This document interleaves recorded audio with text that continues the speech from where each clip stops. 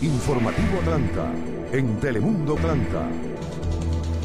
Hola, ¿qué tal? Es un gusto saludarles. Bienvenidos a Informativo Atlanta, aquí en Telemundo. Soy Jorge Buzo y esto es lo más importante. La crisis económica, la falta de empleo y la implementación del acuerdo 287G en condados como Cobb y recientemente en Gwinnett han influido en el desplazamiento y disminución de hispanos en el área metropolitana de Atlanta.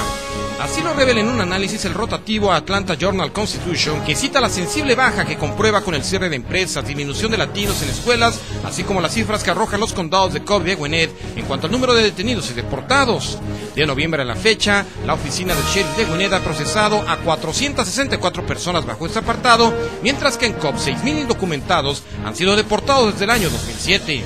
En la Unión Americana, tres de cada cuatro inmigrantes indocumentados en el país son hispanos y casi la mitad de ellos son parejas con hijos, según el Pew Hispanic Center.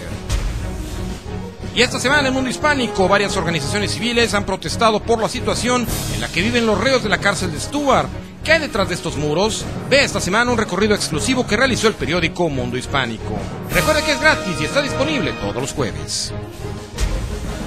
Recuerda que esta y mucha más información está en nuestro sitio de internet y al alcance de su celular en Atlanta la mano. Hasta aquí con la noticia. Siga con nosotros. Somos Telemundo Atlanta. Les saluda Jorge Bus. Informativo Atlanta, en Telemundo Atlanta.